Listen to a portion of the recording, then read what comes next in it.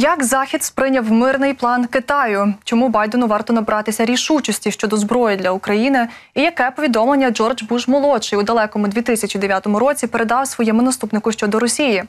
З вами я Анастасія Зазуляк, головна редакторка сайту 24 каналу. І вже традиційно читаючи десятки матеріалів західних медіа, я вибрала найцікавіше про що вам варто знати.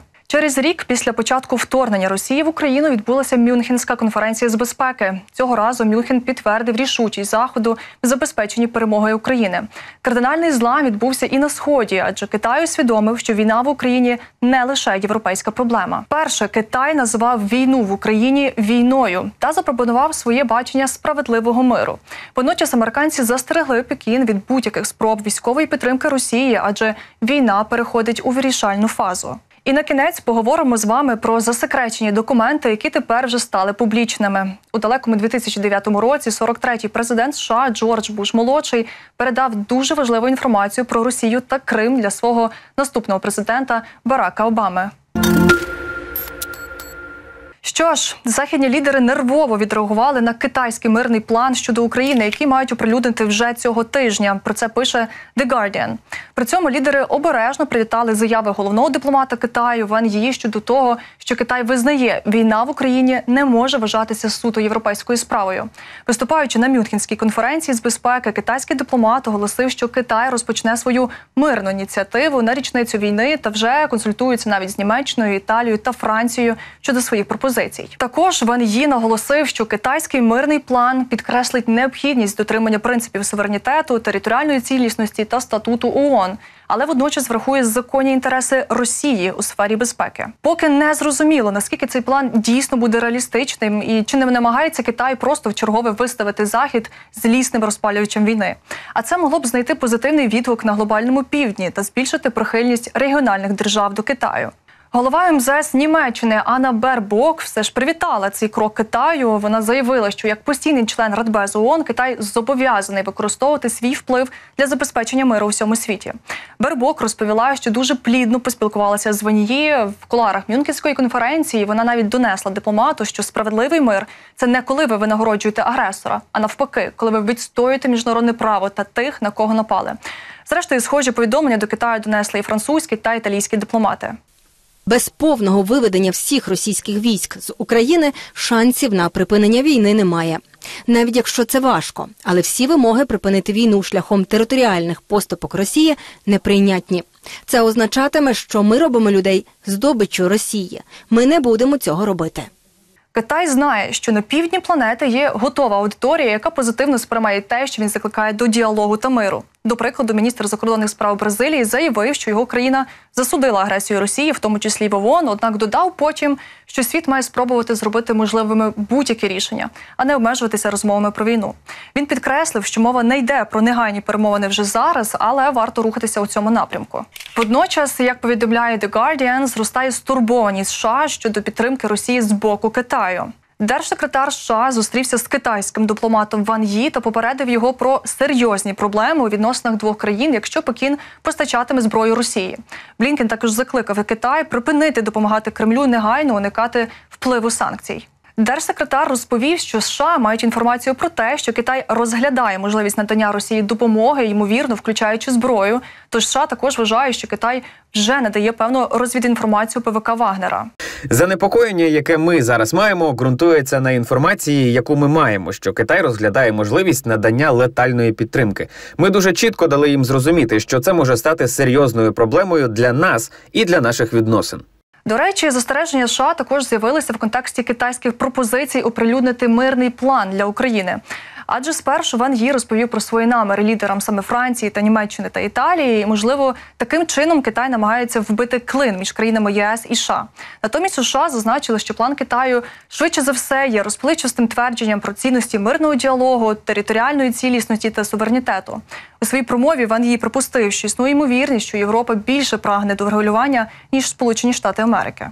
Ми повинні спокійно подумати, особливо наші друзі у Європі, про те, яких зусиль слід докласти, щоб зупинити війну, які мають бути рамки для встановлення тривалого миру у Європі, та яку роль повинна відігравати Європа, щоб продемонструвати свою стратегічну автономію. Європейські дипломати, які вже ознайомилися з пропозиціями Китаю, поставилися до нього досить скептично. Європейці ставлять під сумнів наміри Пекіну дистанціюватися від Росії. З іншого боку, Китай є чи не єдиним зовнішнім гранцем, який здатний чинити ефективний дипломатичний тиск на російського диктатора Путіна. Втім, у запропонованому плані Китаю були й інші моменти, які захід може привітати. Зокрема, протидія загрозам ядерної війни або атака проти цивільних атомних електростанцій. Посилання на статут ООН і територіальну цілісність також можуть бути корисними, хоча вони супроводжуються згадкою про те, що нібито Росія має законні побоювання з приводу безпеки. Загалом у Пекіні заявили, що готові уже найближчими днями опублікувати план, або як вони самі його називають, позиційний документ. А от міністр закордонних справ України Дмитро Колеба висловив сподівання, що зовнішньополітичні принципи Китаю змусять Пекін прийняти українську позицію. Ми вважаємо, що дотримання принципу територіальної цілісності є фундаментальним інтересом Китаю на міжнародній арені, і що відданість дотриманню та захисту цього принципу є рушійною силою для Китаю більшою ніж інші аргументи, запропоновані Україною, Сполученими Штатами чи будь-якою іншою країною. До речі, Колеба напередодні повідомив, що вже знайомий з основними елементами плану Китаю, проте йому потрібно все ще вивчити деякі деталі. При цьому і Дмитро Колеба, і Володимир Зеленський уже підкреслили, що пріоритетною та єдиною для нашої країни залишається саме та формула миру, яку просуває президент України. Тим часом впливовий американський генерал Крістофер Каволі поінформував законодавців США, що F-16 та ракети більшої дальності можуть допомогти посилити наступальні дії України та забезпечити перемогу над Росією. Зокрема, про це пише видання Політіко. Сенатори прямо запитали головного генерала США в Європі про те, чи допоможуть Україні західні винищувачі здобути перемогу. На що він відповів ствердно. Питання про F-16 було частиною широкої дискусії під час Мюнхенської конференції проведення війни, а також про те, що ще потрібно Києву, щоб досягнути успіху у своїх планах перейти у контрнаступ. Каволі сказав, що Україні потрібні ракети більшої дальності, щоб ЗСУ могли завдати ударів по російських позиціях з більшої відстані, у тому числі по штабах та тиловій лінії постачання. Це б допомогло власне вивести з ладу російську військову машину всередині України. Тут аналітики відзначають важливий момент. Цього разу відповідь генерала йде далі ніж попередні публічні коментарі вищих посадових осіб. Раніше вони заявляли, що не виключають постачань винищувачів у майбутньому, але також наголошували, що сьогодні потребою є власне протиповітряна оборона. Каволі ж заявив законодавцям США, що американці та їхні союзники повинні надіслати Україні найсучасніше озброєння, з якими вони зможуть розлучитися. Це охоплює також сучасні літаки, безпілотники та ракети з дальністю польоту понад 100 кілометрів. Генерал переконує, що Україна потребує більш сучасного озброєння і техніки для посилення ефективної боротьби. Ці зауваження з'явилися на тлі загострення дебатів на заході про те, чи варто взагалі надавати Києву сучасні літаки. Нагадаємо, що президент України Володимир Зеленський вже давно закликає до постачань винищувачів. Український лідер підкреслює, що наші пілоти достатньо кваліфіковані, щоб тренуватися на літаках західного зразка та контролювати небо навіть попри російську протиповітряну оборону. Втім, президент США Джо Байден і деякі європейські лідери поки що відхилили цей запит і заявили, що надання танків і артилерії є більш важливим для нинішньої фази війни. За словами аналітиків, така позиція адміністрації Байдена розчарувала яструбине крило законодавців США. Наприклад, сенатор республіканець Лінці Грем наголошує, що передача F-16 є абсолютною необхідності. Грем також запевняє, що суперечку про літаки врешті очікує така ж доля, що і про танки, і звинувачує Білий Дім у недостатній рішучості. А от сенатор Марк Келлі, відставний пілот ВМС, вважає, що українці зацікавлені в використанні бойових літаків для того, аби цілити по російських системах ППО здалеку. Це дозволило б і нашим літакам, і безпілотникам більш вільно діяти по всій країні, особливо на сході та півдні. Що ж, як ми пам'ятаємо, британський уряд пообіцяв навчити українських пілотів керувати новітними літаками НАТО, але так і не вказав, коли саме почнуться ці навчання та чи готовий взагалі Лондон відправити свої літаки України. Натомість американські та британські офіційні особи продовжують стверджувати, що це питання не знімається з порядку денного. А от представник НАТО в кулуарах Мюнхенської конференції заявив, що росіяни намагаються наступати, та наразі досі невідомо наскільки успішно вони це робитимуть. Посадовець альянсу також підкреслив, що варто готуватися до тривалої боротьби. Це не криза, це не якийсь маленький інцидент, який можна залагодити. Це не сутичка. це тотальна війна. Тим часом видання The Wall Street Journal пригадало рішення президента США Річарда Ніксона під час критичного моменту для Ізраїлю у 1973 році. Своїм матеріалом видання закликало Джо Байдена наслідувати його приклад. Аналітики наголосили, що рішучі дії президента можуть змінити ситуацію між успіхом і катастрофою. Озирніться на 50 років назад, і історія дасть вам приклад того, який тип американського президентського лідерства необхідний для перемоги сьогодні. Війна судного дня 1973 року в Ізраїлі, як і війна в Україні, була чимось більшим ніж регіональний конфлікт. Ізраїль був важливим стратегічним партнером США на близькому сході. Єгипет і Сирія були тісно пов'язані з радянським союзом. Коли Єгипет і Сирія розпочали двосторонню атаку, Ізраїль був застигнутий зненацька та непідготовлений. Перші успіхи арабських загарбників поставили Ізраїль перед необхідністю боротися за своє виживання. На третій день війни Ізраїль висів на волосині.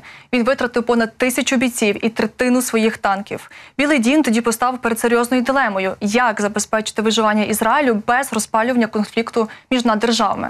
Схожу ситуацію сьогодні адміністрація президента США отримала від війни Росії проти України. Тож тоді, щоб уникнути образу жалюгідного безпорадного гіганта, США повинні були діяти рішуче. Ніксон наказав Міністерству оборони швидко відновити всю втрачену військову техніку Ізраїлю.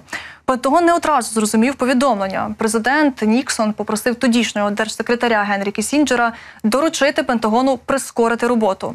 Минуло кілька днів, а Пентагон продовжував зволікати. Ніксон знав, що радянський союз щодня постачає 700 тонн військової техніки до Єгипту і Сирії, що США повинні діяти негайно. Коли Ніксон дізнався, що військово-повітряні сили США не можуть вирішити, які вантажні літаки варто використовувати, то сказав Кісінджеру – Чорт забирай, використовуйте всі, які у нас є. Скажіть їм, що відправили усе, що здатне літати. І саме цей президентський наказ ліквідував перешкоду. Вже через сім днів після початку війни 30 транспортних літаків, це 130, були на шляху до Ізраїлю. А протягом наступного місяця понад 550 американських повітряних місій здійснили постачання для ізраїльської армії. Літаки летіли так низько над ізраїльським узбережжям, що реально відчайдушну американську допомогу можна було побачити неозброєним оком. Тоді радянський союз відповів погрозою вести свої війська. Але Ніксон не вагався. Він привів усю американську армію в стан найвищої бойової готовності для мирного часу, а це фактично означало підготовку до війни. Радянський Союз відступив. Ізраїль переломив хід війни, а врегулювання під американським керівництвом дозволило отримати Москву якомога далі від близького сходу на наступні 40 років. Тож відставний генерал армії США Баррі Маккафрі наголосив: якщо президент Байден сьогодні серйозно налаштований щодо майбутньої суверенної України та поразки Росії, то настав час діяти сміливо і рішуче. Ще не пізно для США та їхніх західних партнерів відправити в Україну все, що здатне літати. І на кінець обговоримо з вами секретні документи, які опублікувало видання New York Times. Журналісти оприлюднили 40 розсекречених записок, і у них, зокрема, 43-й президент США Джордж Буш молодший в 2009 році говорив, що Росія здатна на агресію в Криму. Він передав цю інформацію для наступного президента Барака Обами. Слідкуйте за Росією. Вона жадає території сусідньої України, мовилось в одному із документів. У Нью-Йорк Таймс пояснили, що Буш молодший готував тоді документи, щоб попередити наступників про найважливіші питання зовнішньої політики та національної безпеки. Необхідно запобігти спробам Росії кинути виклик територіальній цілісності України, особливо Криму, який на 59% є етнічно російським і є домом для Чорноморського флоту Росії. Вона експлуатуватиме залежність Європи від російських енергоносіїв і використовуватиме політичні засоби, щоб вбити клини між США та Європою. Попереджав Буш молодший за 5 років до окупації Криму. Аналітики нагадують, що відносини США із Росією погіршилися якраз після вторгнення у Грузію у 2008 році. Окрім того, Буш молодший зазначав, що Індія є другом для США, а також не варто сприймати Пакистан та довіряти Північній Кореї чи Ірану. Проте 43-й президент наголосив, що все одно краще мати діалог з цими країнами. Остерігайтеся потрапити у пастку сухопутних воїн на близькому сході та в Центральній Азії. Писав тоді Буш молодший. Загалом деякі записки демонструють, як багато змінилося за останніх 14 років, і як багато ні. Проте, якими повчальними не були ці записки, вони також підкреслюють, що великі виклики на міжнародній арені рідко вирішуються назавжди, а натомість передаються у спадок від однієї адміністрації до іншої, навіть в еволюційній формі. Так само і успіхи, і невдачі. Сьогодні ж, після першого повідомлення про можливу агресію Росії стосовно Криму, минуло 14 років. Пророцтво американського президента справдилося через 5 років у 2014-му. А вже сьогодні, у 2023-му, ми з вами чуємо від тих же посадовців США та інших союзників України, що Крим обов'язково повернеться додому. І станеться це вже найближчим часом завдяки силам оборони України.